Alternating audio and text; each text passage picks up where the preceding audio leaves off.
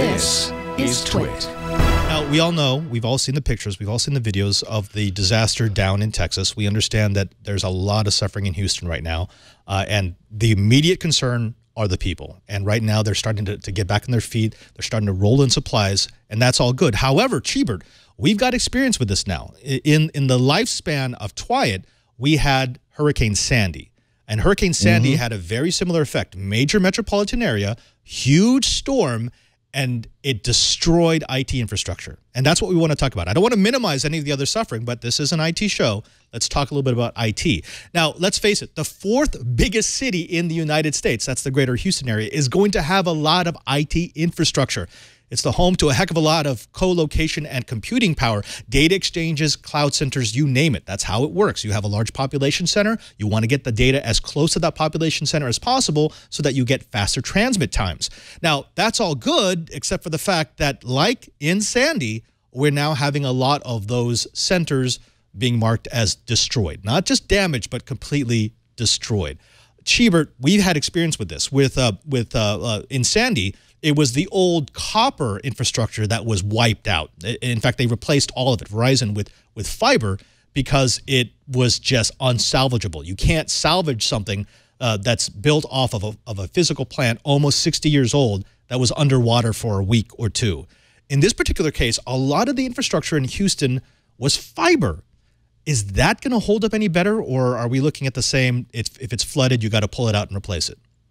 Well, the whole the whole thing that a lot of people keep forgetting is fiber optics inherently while it's wrapped in armor and wrapped in plastic and all kinds of other good things they even go as far as putting in antifungal gels right, and right. powders into the cables but with this amount of water leaking into the cables a lot of this antifungal compound is going to get washed away mm-hmm.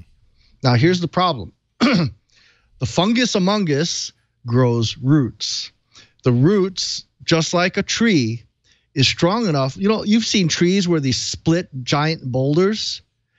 The roots of mold and mildew will do the same thing to fiber optics. And the problem is, this is a very slow process. Right.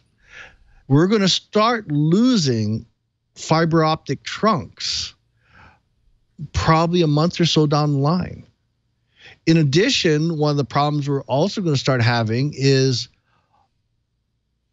where's all this gear? You know, if if we've got some data centers underwater, or we now have data centers that are that maybe the air conditioning is going down and we've got mold and mildew growing. Now all of a sudden, a lot of these data centers don't run so well anymore. Keep in mind, a vast majority of the APNs for cellular carriers are in that area. That's right. That's right.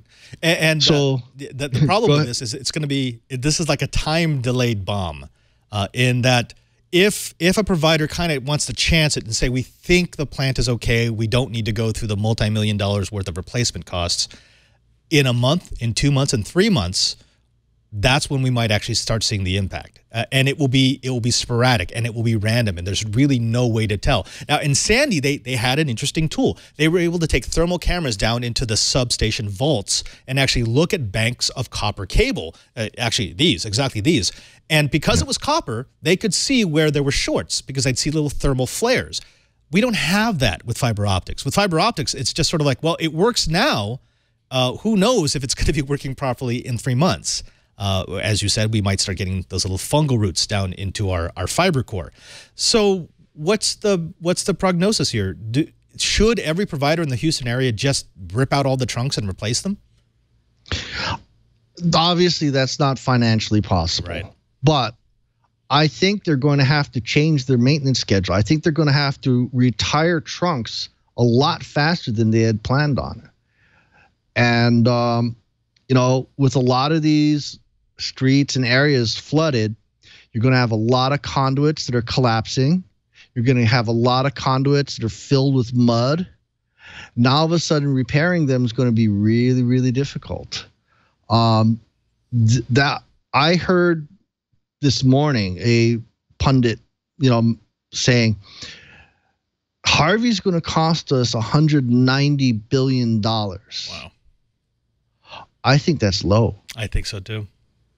I think we're going to see my best guess is probably closer to 220 250 billion dollars because i don't think the the mainstream media is realizing just how expensive it is to replace all that conduit based optics. Yeah just the, the traditional transit infrastructure so roads and exchanges that's going to run up to 15 to 20 billion dollars if you start considering how much IT runs through Houston and trying to determine how much of that you have to replace versus how much you can salvage that's easily 20 to 40 billion right there.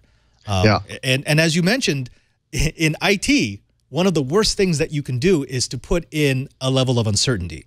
I mean, I can yeah. deal with failure as long as I know when it's going to fail.